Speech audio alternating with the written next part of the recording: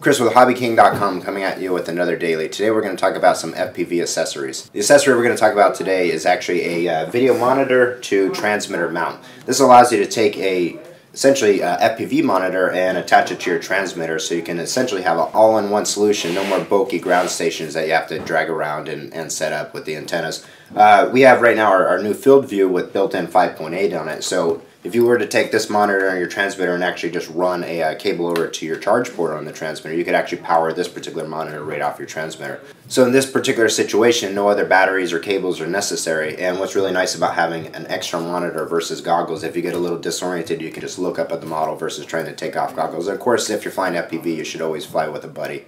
Some nice features about the mount itself is that it's universal. Basically, any transmitter that has a uh, handle on it, a wire style handle on it, you'll be able to bolt to it. It's got multiple angles, and another feature about it that's pretty cool is it doesn't allow you to over rotate. So when you decide to store the monitor, take the sun shield off,